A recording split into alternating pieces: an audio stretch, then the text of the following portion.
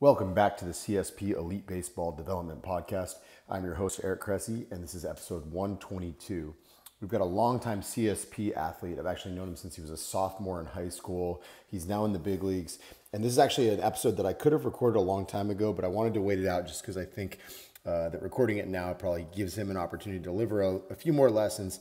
Now he's going through some different stuff and, and, kind of picked up some different pearls of wisdom along the way. So just a really good interview from a wonderful guy I've known for a really long time. And I think I was, um, you know, probably uniquely positioned to ask some questions that other folks might not think to ask, and hopefully you all benefit from it. So enjoy.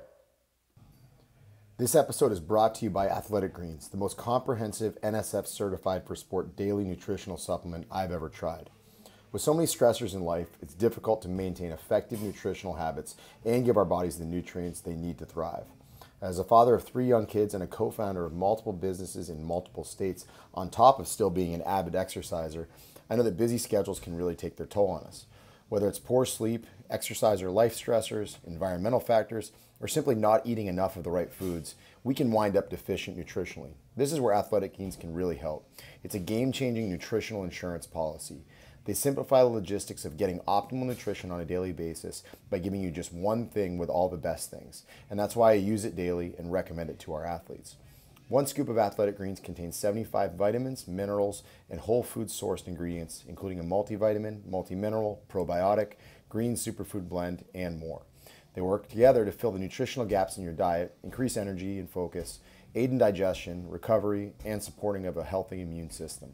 This all can happen without taking multiple products. While most nutritional products come to market and stay stagnant, Athletic Greens continues to obsessively improve this one holistic formula based on the latest research, producing 53 improvements over the last decade.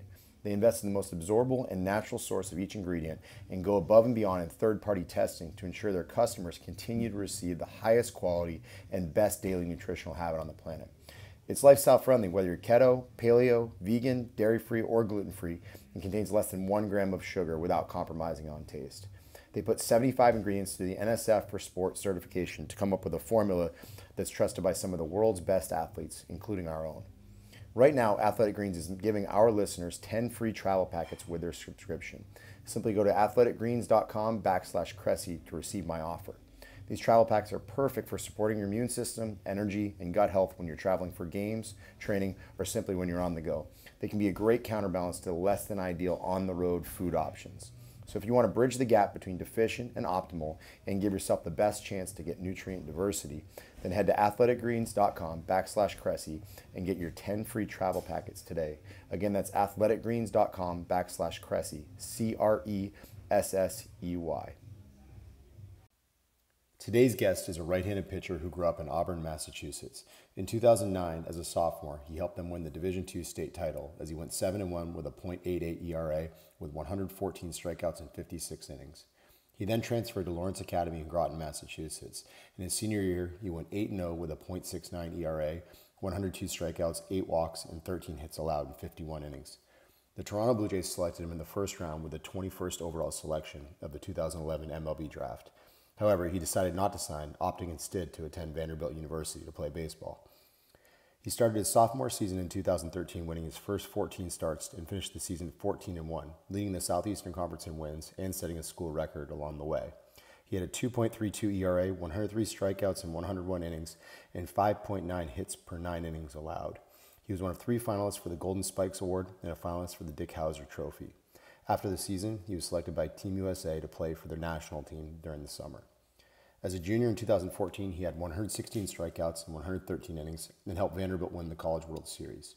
He was drafted with the 14th overall pick in the 2014 MLB draft by the San Francisco Giants. As he entered his minor league career, he led the Double A Eastern League in ERA in 2016 and was added to the Giants' 40 man roster following the 2017 season. He made his MLB debut on April 10, 2018. This year, he made the Giants' opening day roster out of spring training, and he started the season pitching out of the bullpen. Please welcome to the show, Tyler Beede. Tyler, this is incredibly overdue. Thank you for joining the show. You got it, EC. Yeah, great to finally be on with you, man. Yeah, so we, we go all the way back. I want to say it's 2008, your your sophomore year of, uh, of high school, yeah. and I I learned a lot about long term athletic development by going through the high school years with you and, and with your with your mom and dad, your brother, and all that. So yeah. um, I, I kind of need to set the stage. All right. So it's, it's fall of 2008. You're a sophomore in high school. And I just think remember you roll in, you're probably six one at that point. You, you were, you were tall, but you were, you kind of turned sideways and skid, disappeared. You were a little skinny. I distinctly remember it being in the middle of football season. I think your whole team had, had gotten Mohawks and you were, you were kind of like two or three weeks out. So it was in that awkward stage where it was partially grown back in. So almost like you had like football helmet head. Um, but your dad brought you in to get started, and um, you had to be thinking like, what the heck am I doing here? Because you were at the time still a three sport athlete. It was kind of in the middle of football season on like some weeknight. Uh, I'm I'm curious what was going through your head in that moment. Yeah, I think I remember it was like Rich Kidman who had recommended it to us, recommended your facility and yourself to us. And so, yeah, it was like after long days, obviously school, football, we roll in at night and it's this it's this really cool environment. But I remember foam rolling with with Chris Howard, and then kind of getting into the mix and just being slightly overwhelmed, and especially just extremely sore after the first few weeks because I had never really lifted in that capacity and. Um, but I knew I could just tell like the convictions that I had, it was the right place to be. And so that's why I kind of made that a priority at that point. And then, you know, that was when I set aside basketball. I stopped playing basketball that year because I saw the importance in the fall of coming and training with you before baseball season. I, I always joke that sometimes you you got to give the the puppy the peanut butter to get him to take its pill. yeah, and yeah. I'm sure there was a little bit of that because you know, to be honest, what was very interesting that a lot of people don't appreciate is I just think you remember you know conversation. I think there was even like a, a follow up email that your dad sent me after your first offseason. He was you know super appreciative of yeah. you know not just like the physical improvements, but it was like it was the character building. It was you know being around pro guys. You know Sahil Bloom is a Twitter sensation, former Stanford uh, baseball star. Um, you know Sahil was kind of like a couple years older than you, so in a lot of ways it pushed out like the opportunity to roll with the wrong crowd, make bad decisions, whatever you know is that teenagers do. Yeah. Um, so do you think that was kind of like part of it is that it wasn't just about the training it was more about like who you were around um, you know the, the, habits that it formed just because you you kind of had to just keep up with the guys that were doing it alongside you yeah i think that that was a huge aspect of it and i was fortunate i think to have a little bit of that being around some of my dad's college teams at, at becker when he was coaching i could see kind of the tendencies that those college players had. And to me, those guys were like major league baseball players, even though they were division three guys. And then, you know, getting to go to your facility and being around actual professional athletes and high level college players and, you know, Youkilis is there, those kinds of guys. I just it was it was my dream from a, a young age, and then to kind of see those guys living it out, see their work ethic, their tendencies, their habits, the things that they sacrificed, it just gave me uh, an, a firsthand example, and then obviously the training that went alongside of it was uh, just kind of kind of completed the whole thing for me. So it was a special place. I wanted to be there every hour of the day, you know, and I think I tried to prioritize that best I could. I was gonna say there were days where you were there till close. I remember you had yeah. a cafeteria in the building and. Was, yep, uh, me and was, me and Timmy just eating loaves of bread or, or rav or whatever it is. You know, it was a fun place to be, man talk, talk to me. I, I think the the sequencing throughout your your high school career was a really important collection of lessons. So maybe just outline who you were as a pitcher, you know, kind of freshman, sophomore, junior year. Because I think there's this this remarkable perception that like first rounders are just born and that, you know, they're, they're always there. You know, they roll out of bed and they throw 100 when they're 15 and, and everyone else is destined for a life of mediocrity. Like talk to me about the hills and the valleys that happened like over the course of those years, both from a velocity development, physical development, pitch design, all that stuff. Yeah, so I think I think it all happened uh, sequentially over the years. So I think my my freshman and sophomore year when I was at Auburn High School and I initially started to come to you, I, I was a guy who I I believe I could pitch well. I just couldn't uh, I couldn't really generate a ton of velocity. Although at the time throwing 80 to 83, 85 was still hard and at, at that level and, and in high school and allowed me to be productive and have a lot of success. And then when I started to come to you was the physical maturation and the velocity development. I started to to gain three to four miles an hour each of those years. So junior year, as I got through the summer circuit, finally hit. Um, I guess at the end of my sophomore summer, I finally hit 90. um, 92, and then went into junior year and, and carried that through. Uh, eventually, kind of my senior year peaking and getting to 95 with the help of, of you and Matt Blake and kind of the velocity development there, integrating some long toss and some weighted balls uh, on top of the strength programming. Um, but I think it was it was those uh, those summer circuits for me, like really just challenging myself to play against elite competitors, guys from different states who I saw were or playing at a high level were going to get drafted or play, uh, you know, Division One baseball. And so that was a challenge and pushed me to come back to your facility and say, "Hey, let's go." Like this, what I did was was good, but not good enough. And and so it was always a good challenge from you guys to to push me to get better each of those off seasons or seasons. I think you, you know, the summer between that that sophomore and junior year when you first hit ninety, that was. Uh, I think it was crucial from a Kabayan standpoint. Um, I don't, yeah. know if you remember like you went away, started the summer really well, and kind of it tailed off. Right, you're living in yep. hotels on the road. You're not sleeping in your own bed. You're not eating mom's cooking. All that stuff. Yep. And I just think remember there was like a two week period where you came back, and it was just like between tournaments, whatever it was. Yeah. Ate like a you know a champ, trained mm-hmm. hard for two weeks, and you went back out, and that was like 90 the first time. And yeah. it, there was almost like an immediate feedback. And you know, to be honest, this is something I've seen in like pro golfers, pro tennis players, they play like this year-round world, and they they get these like blocks of training for a week here and there, and actually can do quite a bit just to normalize you, whether it's the, the sleep schedule or you know quality food or just consistency, yeah. whatever it is. Um, you know, I, I, think for you, we also learned that there was kind of a, pretty linear relationship between body weight and velocity, right? At, at 185, you were an 88 to 90 guy. At 205, you were a, a 93 plus guy. Um, when was it that you started to pick up on that? Yeah, I think it, it was that sophomore year, that that two week period where I did come in a little down in weight, a little down in strength and um, recovery or whatever it may have been. And I, yeah, like you said, I think I just I committed to those two weeks there. I ate well and I went back maybe five or five or ten pounds a little heavier and and and pitched well. But I think it was um, you know, as I got to Lawrence Academy and I had access to the the cafeteria and I was able to kind of eat as much as I, I wanted to eat throughout the day. Um, uh, put on some weight and just just messed around with different weights that I've that I've had over the years and even in the college experiencing that too and and pro ball messing with throwing at a lighter weight which I'm sure we'll talk about um, but I've I've I've dabbled and I've I've yo-yoed with some diet stuff and some weights and um, to your point it's always the the over the 210 to 205 now that that I, I feel my best. I don't feel sluggish, and I'm able to still be explosive and still generate velocity. Yeah, I think there's also this perspective that like first rounders don't go through failure, right? That they they don't struggle with it. And, and the one I, we've talked about this a bunch over the years. I mean, uh, you know, you you were cut from Team USA, and and I, I, actually tell this joke like I've been in that room. I was with the 1800 national team in 2015, and yeah. you know we we have a guy with us in the Yankees, Ben Rortvedt, who we cut from that room. Uh, Alex Kirilloff was cut from that room. I think he went 14th overall to the Twins.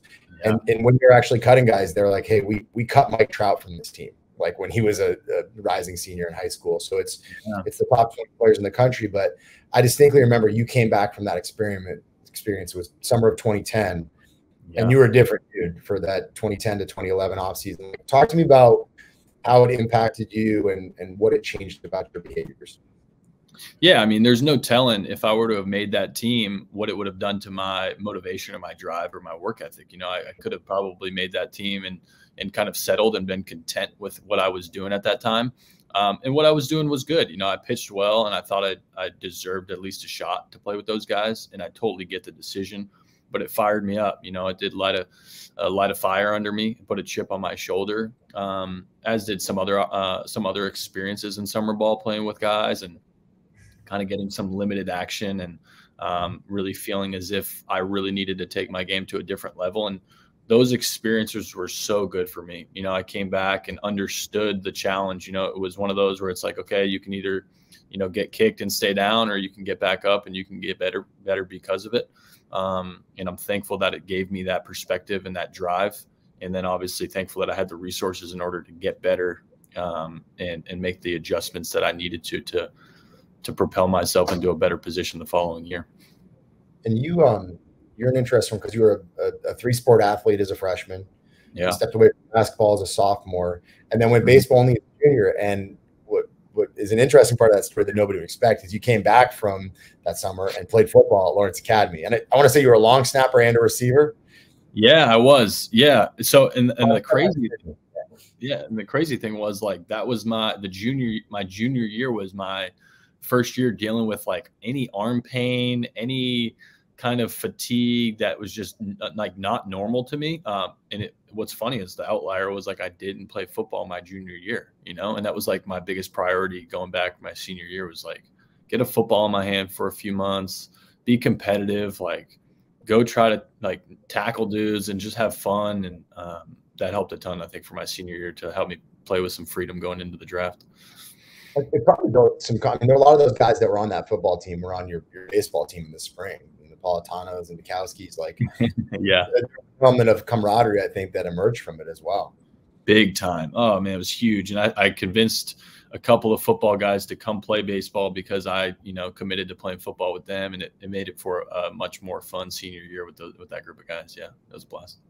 So spring season rolls around. You guys, you guys were part of a. I mean, it was an undefeated team. It was a, a special kind of scenario, and you know, I always remember like the last game against BB&N, right? You're, you're facing some pretty good players on their side, and you were 94, 96, and you know, swung it pretty good in that game. But everyone thinks about like kind of the pinnacle of the year with you know 50 scouts in attendance.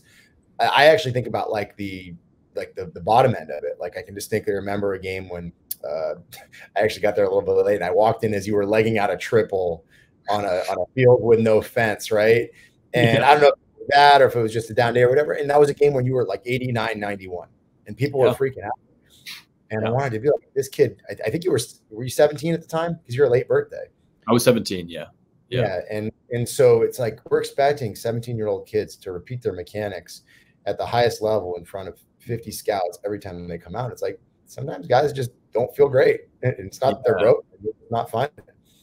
Exactly. Yeah. You yeah, you have those days. I remember that distinctly. And I remember my dad almost like being, you know, um, he was in my corner, but he was almost like, Hey, you know, what's what's going on today? How's it feeling? I'm like, you know, you just have those days, you know, it's like maybe I had an exam that that week or late nights studying and um, yeah, maybe it was just one of the, yeah, I had open up the game. Like, you know, it's just sometimes the things just uh just just aren't there clicking. You don't feel super explosive that day, but you got to compete and get outs regardless. And I think that was the byproduct of it.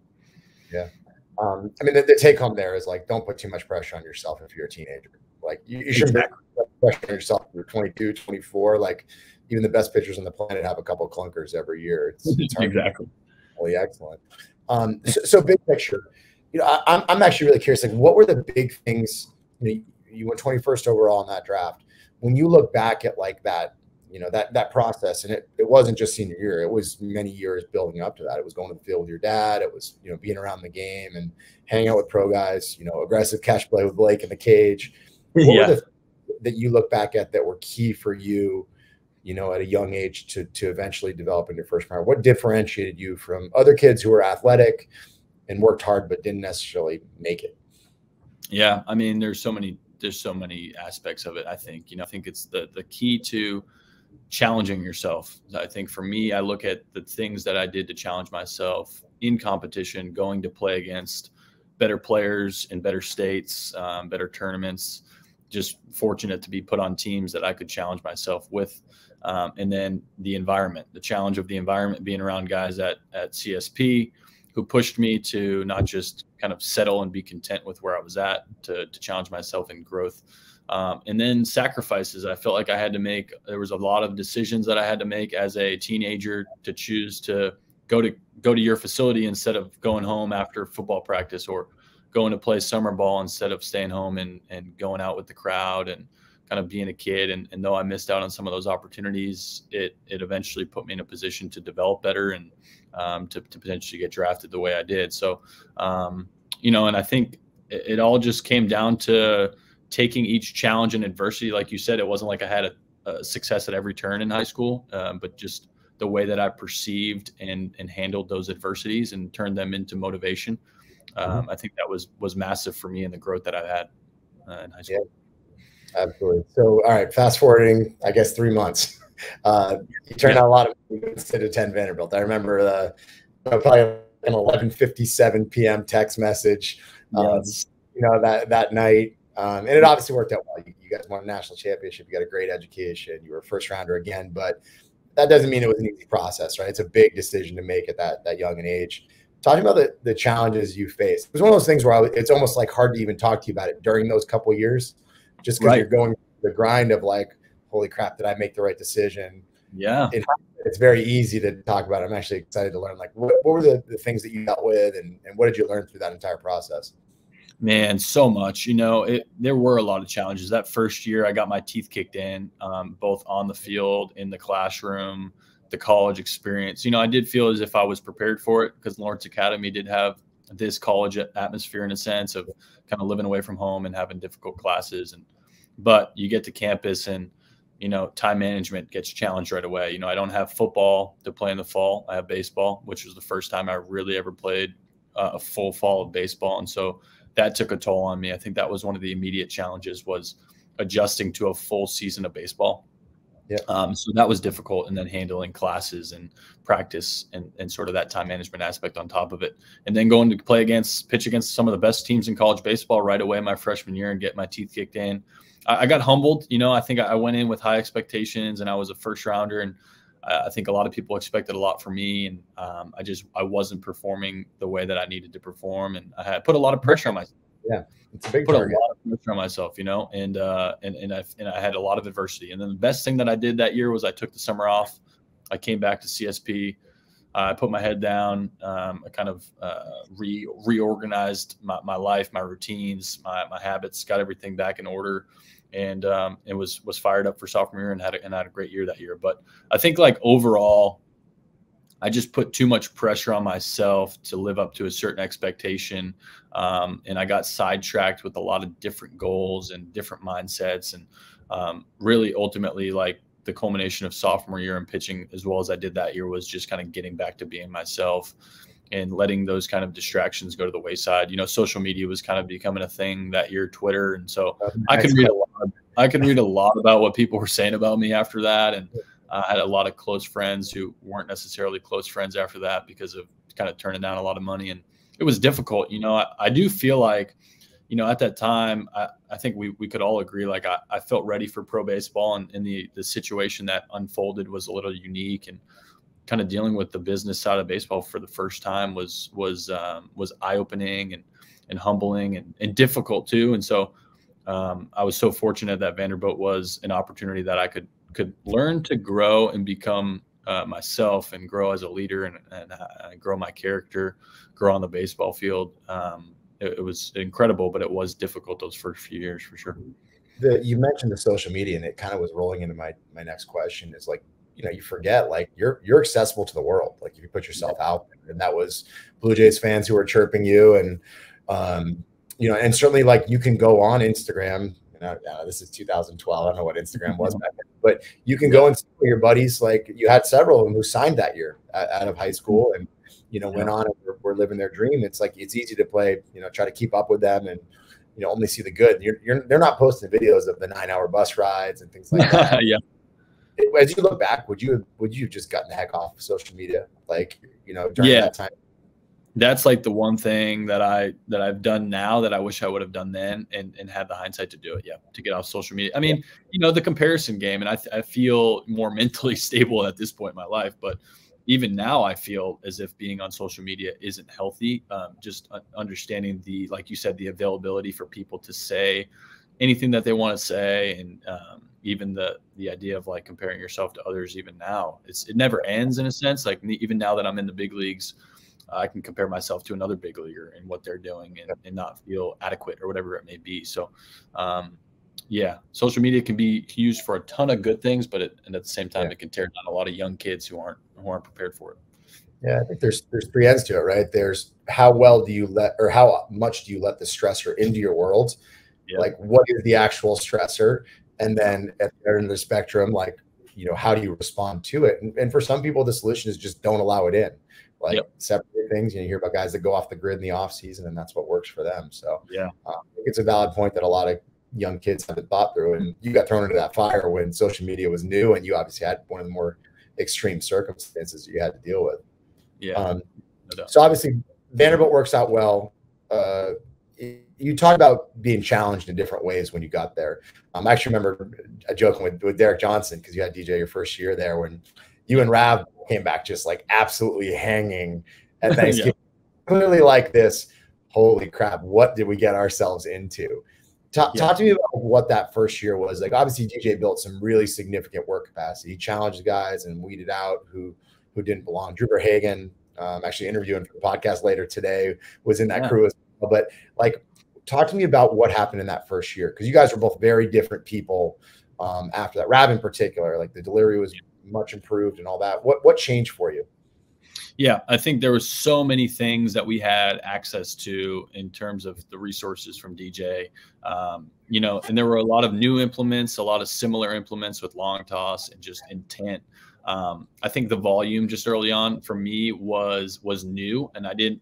That was the first time I really had to to to understand that building up, like the progression of it in in college uh, in that fall, like needed to be a little bit slower. I think I got so excited so early on on campus that I tried to pretty much throw as hard as I could from day one. Yeah. Um, and I needed to learn to take a step back. And so uh, that kind of came back to, to bite me in the butt there because, you know, I kind of started behind the eight ball, started to have some shoulder fatigue um, and just developed some soreness that really became some discomfort and pain that I tried to throw through that whole first year. Um, and I just needed to, to understand maybe at that point was to like, okay, take a step back, don't rush this. Like you don't need to, push through certain discomfort and and pain just because you've you know you feel like you need to pitch your freshman year and so thankfully it took until till the summer for me to say that but um, those, those are some of the early challenges that uh, really kind of woke me up to, to to the progression and the volume that i needed to control early on in the progression you, you learned a lot obviously during your time at vanderbilt had your, had your ups and your downs and yeah. what, what i'm curious about is when you first got to pro ball you know, you go from being, you know, one of, you know, 15 guys on a college pitching staff, whatever it may be, to going like, you know, you're you're you're one cattle, one cow on a on a cattle ranch, right? Like there's just tons and tons of people in every major league organization. And there were some adjustments that that happened like the second you got drafted.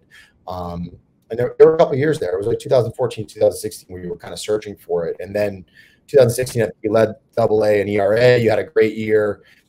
Talk to me about like what were the things that what were the adjustments that didn't work?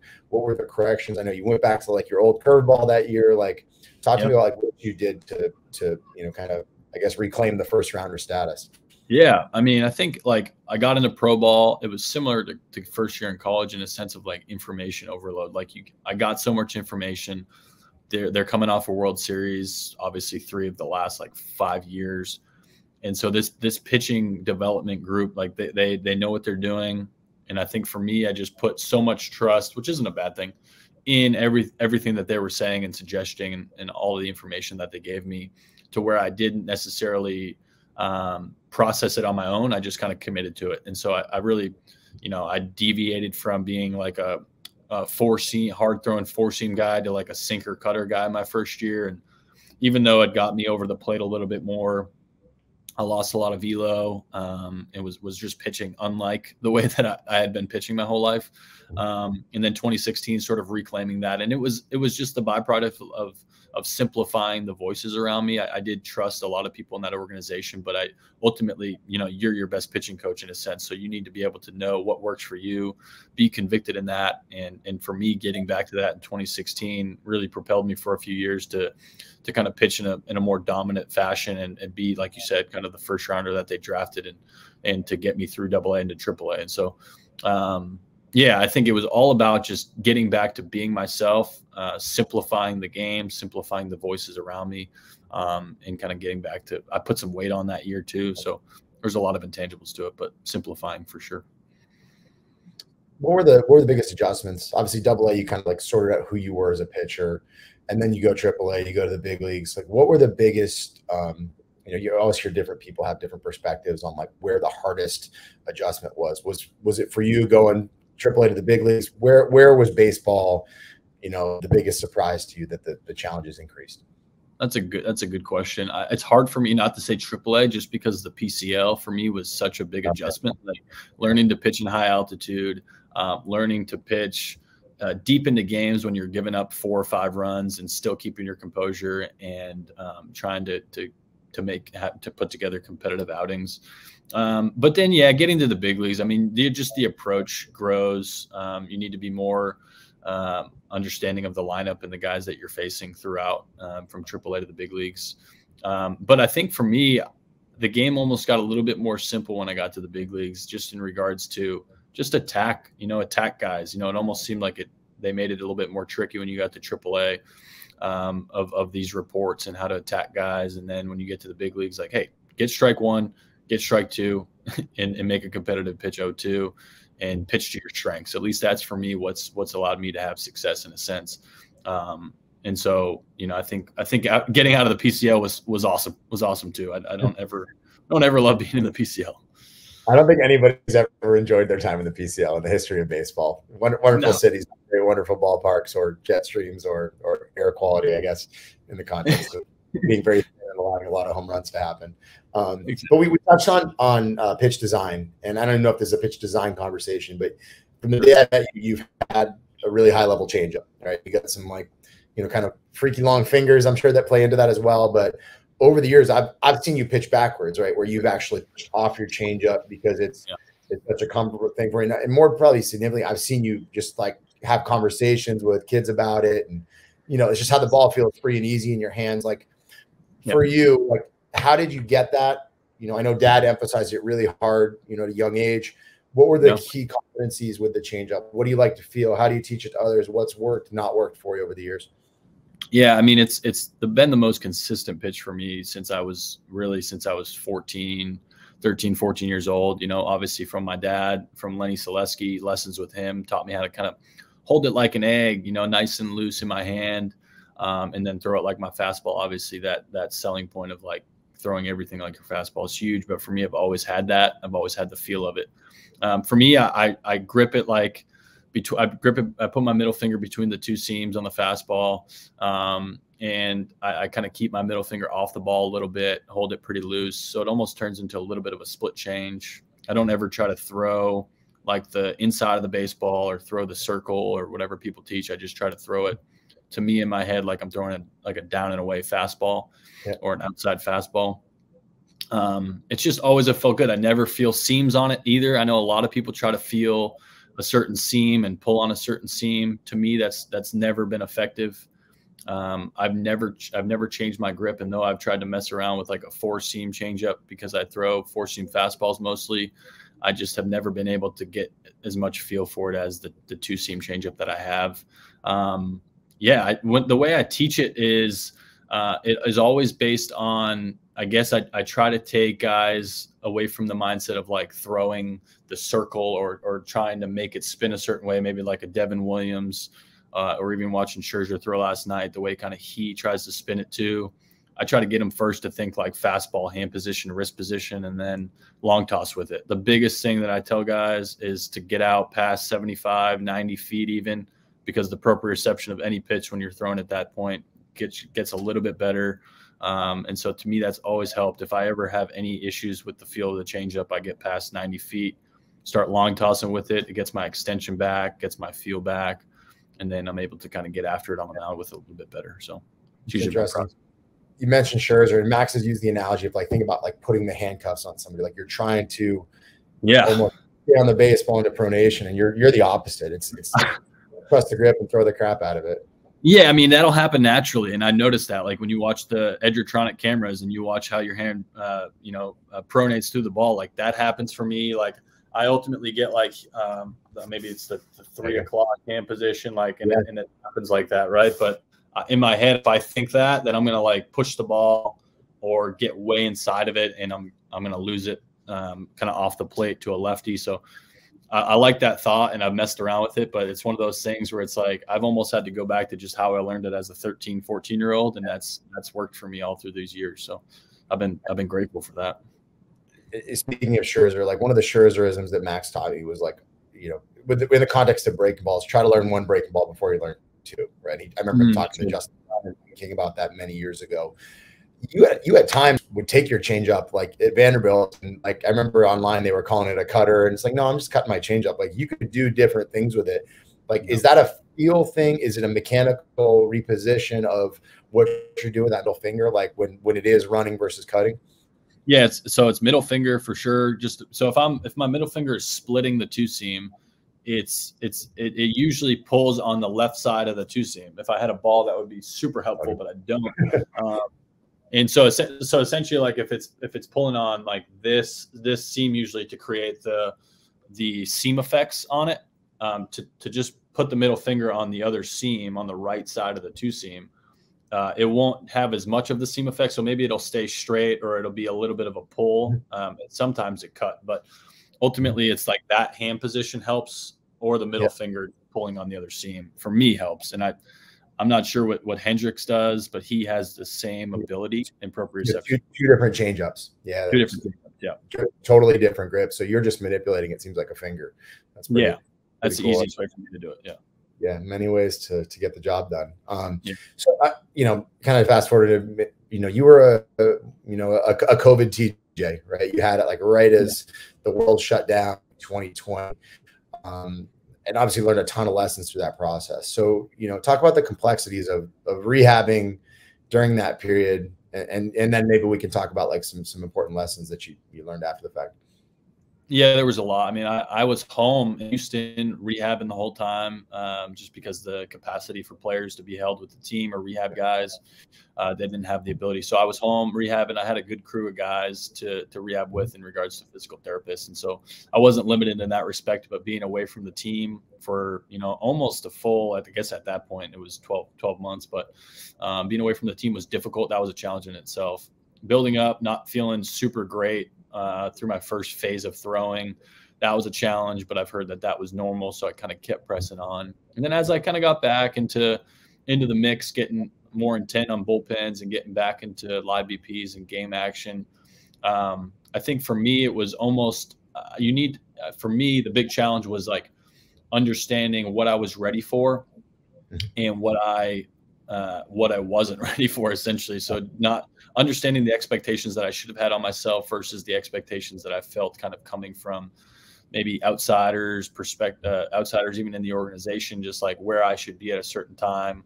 Um, I think for me that that that really kind of threw me off just a little bit because I started to deviate from my plan, deviate from what was working for me um, in order to expedite the recovery process and to, to be in a certain level before I was ready for it. Um, and so that kind of, for me, my first season back, I stayed in AAA essentially the whole time, just trying to rehab and figure some things out, and then ending the year on the 60 days. So, I think that the big challenge was knowing when to to to push myself in some parts of the process, and then when to kind of take my foot off the gas and recover. It was like what we talked about in high school when I was able to take two weeks off to come train and to to to kind of uh, reorient some things and to get to kind of get set up for the rest of the summer. You know, I think when Tommy John guys are coming back, there's an opportunity to, to take a, a two week break and to maybe it's not two weeks, maybe it's a week, maybe it's two or three days, and to just have a refresher. I think that's super beneficial for guys that I recommend during Tommy John. Um, and the other thing is, it's just like your body takes time to um, to, to come together and it has its own adaptation process like we've talked about with the ligament um, kind of kind of forming and settling settling into the arm. And so for me it really took almost 20 22 months in order for it to really feel good again. So there were a lot of challenges but it's just a, a process that you have to know is your own and takes your own kind of time timetable we interrupt this episode with a quick reminder that this podcast is brought to you by Athletic Greens. It's an NSF certified all in one superfood supplement with 75 whole food sourced ingredients designed to support your body's nutritional needs. I use this product daily, and a ton of our athletes do as well. Head to athleticgreens.com backslash Cressey and claim my special offer today for 10 free travel packs with your first purchase. I'd encourage you to give it a shot too, especially because of this great offer and because it gives you peace of mind knowing that you're covering all your nutritional bases. Again, that's athleticgreens.com backslash Cressey, C R E S S E Y, to get that special offer we hear about all the really positive outcomes with with Tommy John in professional baseball. I think one of the things that we overlook is how valuable it is for you to literally just like look across the locker room and find five guys that have had it, where you can ask about their experiences, and and that was something guys didn't have in 2020. You know, you you, you basically. Yeah. we're we're on your own in Houston, and um, I think a lot of those times you have that advice from somebody. It's like, hey, you know what? It's it's it's not feeling great today. Take an extra day, push it back. And when I look back on on your situation, you know, you're obviously at March, Tommy John. I remember you and me and Schoenberg and Shane had a conversation. It was like late November, and it was it was hanging. Meister, you know, who had been your surgeon, was like, listen, give it some time. You know, I want to yep. say he told you take a month off right yep. now, Give some anti-inflammatories. And it was the absolute best thing. Like you gained flexion when you'd been struggling to get it, your symptoms all went away. But I remember on that call, you were like, "Hey, you know, I'll just I'll, I'll just throw plyos and all this." I was like, "Ty, you're an idiot. Like, yeah. yeah. don't throw anything. Like, don't right. throw football, don't throw baseball, don't throw pretend baseballs, any of that stuff. Just like do this right so you don't have to do it again." And like looking back, like there's always like this like hemming and hawing like you think you're different and that you're like when we when we talk about ourselves we're immune to the laws of like healing and biomechanics, all these different things. And I just look back on that as like that that month you took a huge step forward. You know, it was a, it was a big difference. So um, can't overstate enough. Like the players, like like being in a lot of discomfort is not normal. And I've seen guys that have you know had grafts that never held, and they didn't find out until 11 or 12 months because they thought it was normal to push through pain. So. Yeah. Um, yeah. you know, credit, credit, to you for listening to for uh, to us when we yelled at you about it. But you know, what are, what are big lessons to like guys that go through it? Um, you know, having been through it yourself and taking a little bit longer to, to come back in light of the, the times. Yeah, I think you made a good point. Like lean on guys who you know in your inner circle or around you who have had Tommy John, who have gone through that process, and just listen to kind of the nuggets that they give you about how they felt or certain parts of parts of the process, you know, how they felt during that time or the challenges that they had, because ultimately you can learn a lot from that. But at the end of the day, it is your arm, it's your own individual process and experience and recovery and your your arm's going to adapt differently than mine will or anyone else's and so it's to lean on those guys around you like yourself like shane and eric um, to know you know what's normal to feel and and and when maybe you need to shut it down. You know it's hard because i think like we're talking about i'm so i was so used to maybe coming up through high school and, and college of pitching through some pain and discomfort that when you're going through a recovery process as serious as tommy john that's not the time to push through certain pain. Um, there there is obviously some phases where you're gonna you're gonna throw and it's gonna not feel great but you need to keep throwing sometimes to break some scar tissue up but it's to, to kind of be able to listen to your body during those times. And it's an important it's an important time. You learn a lot about your body your mechanics kind of that's a time to revamp some things maybe and to clean up some things more efficiently. So it's a huge 12 months that you can use to, to really propel your career. And so take it seriously because you can change your body you can change your your routines and your habits. Um, and you have it's really not much other times in your career where you have 12 month period of, of really fully working on things off the field so capitalize on it you um you you I'm gonna I'm gonna ask a question off that, but I just want to make a statement. So that you're asking a tendon to become a ligament, right? Yeah. And yeah. when they go and put that tendon in your arm, they also crank it crazy tight because the last thing they want is for their their you know their reconstruction to fail. So that creates two levels of complexity. One, the, the, the tendon actually has to take on the properties of a ligament. And you know, it's generally kind of agreed upon. There's a lot of research in the ACL community where, where it happens as well. It's like that that's probably 18 months. And we know mm-hmm. the average on a TJ to previous levels about 14. So a lot of these guys are are pitching with a effectively a weird ligament for for at least four months there.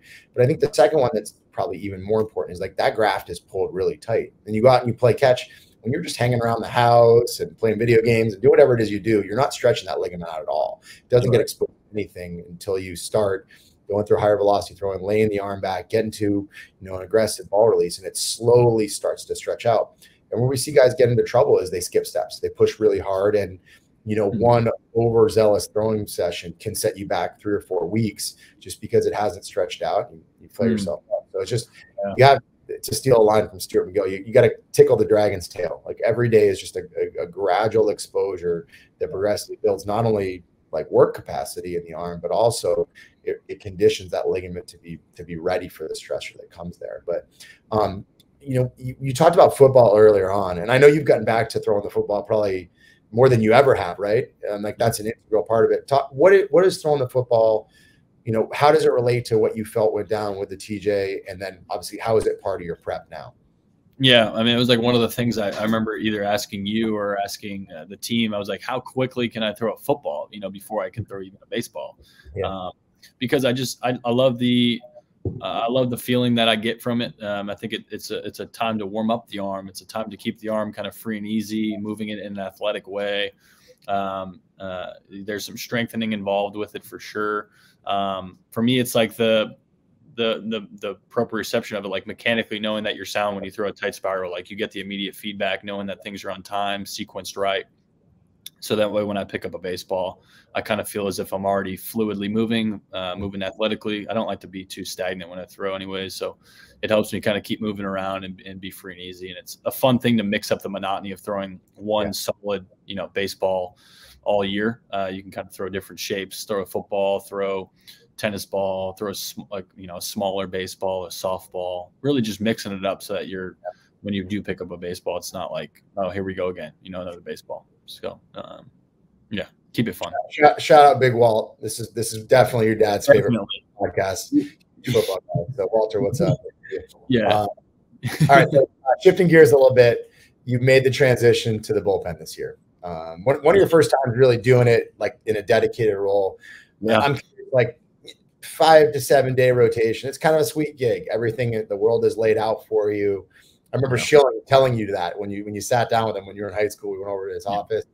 It's the sweetest gig in professional sports. Bullpen's tough. It's it's yeah. very unpredictable.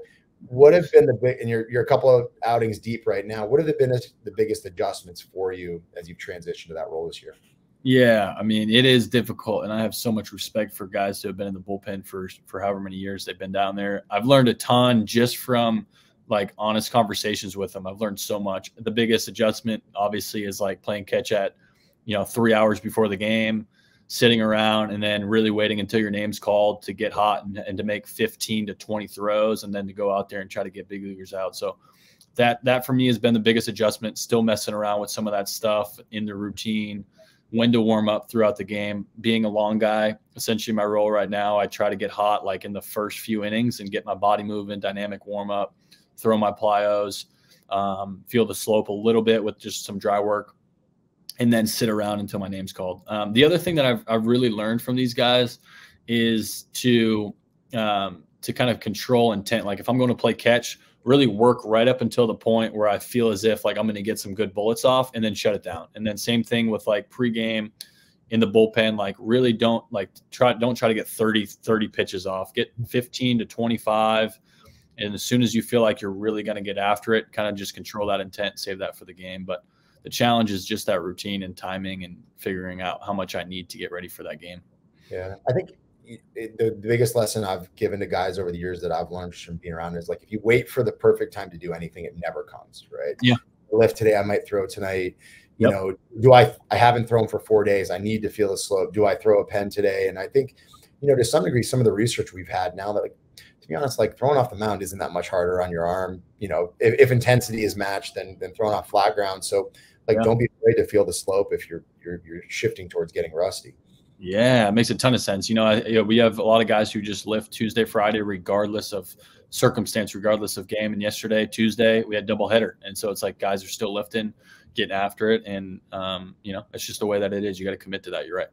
That's an important lesson, and it's, honestly, it's super important for like younger kids. Like you're, you're doing this at the highest level, where it's like, hey, it's about winning games, it's about you know staying in the big leagues, all these important things, and you're yeah. getting your your developmental work in regardless and we see so many 16 year old kids like, oh, you know, I, I pitch in three days. I don't want to be sore. And A, we can adjust the workout really, really easily. But yeah. more like, who cares if you're sore? Nobody's going to remember the outcome of this game 10 years right. from now. So like, exactly. focus on getting better.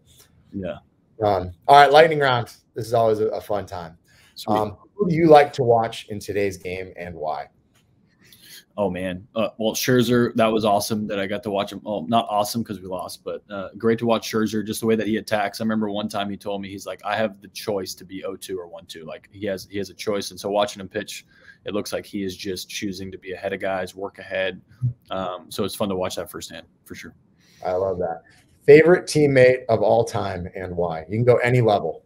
Uh, I mean, I can only think of currently, and his name's John Brebbia. He's been a guy who's pitched out of the bullpen for a lot of years. He is, yeah. he's hilarious. He makes us laugh. He's one of those guys who's like, he's he's so he's so effective when he pitches, but it's like he he has one of those carefree, humorous personalities, makes everyone laugh, and one of my favorite guys to be around. As, a, as Massachusetts ties too. I think it's Shirley. Massachusetts guys. Yeah, yeah, exactly. So. He's always wearing Sperry's. He's he's a uh, yeah. He dresses like he's from the Cape. All right, what's next for you to take the next you know step in your development? What do you need to accomplish to be the guy you want to be in the big leagues? yeah, consistency around my repertoire and just and just go, going and attacking guys. You know, with with all my pitches, I think for me it's determining who I am, especially in this role right now. Owning it, having confidence in that, no matter when I take the ball, no matter the circumstances, and just going out and being myself. Like what about advice for a teenage Tyler Beede? we already talked some of it, but let's talk pre-draft Tyler Beede. Pre-draft Tyler Beede, um, and don't worry about the opinions of other people take deep breaths and just enjoy the process. Enjoy where you're at because it, it, goes quick. And this last one I think is going to be a really good one. So, um, advice for parents and kids listening to this podcast in the car together on the ride to and from practice games. And I'm going to give some context. Your dad obviously was a super big part of your development, as you alluded to. He's coached um, both yeah. in like collegiate setting, the private setting, and I know you guys had a lot of these rides together. And he's he's actually doing a lot more like write writing and presenting in this space. And I know it's based on his experience as a coach, but also you know things that he dealt with, you know, as he worked through the processes with with you and your brother, lessons he learned. Like, what, what would you say to to moms, dads, and kids that are are going to and from games and practices? Yeah, I mean, prioritize being mom and dad over being coach. You know, I think I think that you know you get, there's enough of that time where your son, your child is playing, where he's getting a lot of coaching and he's getting a lot of input and and uh, things thrown at him. And it's it's good for the parents to still provide advice and encouragement and challenge from that perspective, and to, to go play catch with them or push them. But ultimately, prioritize being parent you know that that kid the child is a is an athlete and they want to perform but they don't need to perform for your approval or your love so just be a parent love on them uh, be there at every turn no matter if it's a success or a failure and to know that that's going to pay off for that child more than than any other thing that you do. Um, and i was fortunate to have that from my parents from my brothers just support system even from you guys no matter what the scenario was in my career to have people who I could turn to and they would support me and and be there for me, uh, encourage me at every stop. And so that's uh, an integral part for any any athlete coming up to have in their family dynamic. That's awesome, man. Really good stuff across the board. We hit on a lot of different things. That this this might have uh, hit the widest end of the spectrum in the history of uh, 120 plus podcasts. So thank you very much for taking the time. As always, we're, we're cheering you on both in uh, in baseball and in parenthood, which I yes finale. So best of luck with that. Yeah, Thanks, EC. You got it, brother. Thanks, man. That was awesome. Appreciate you.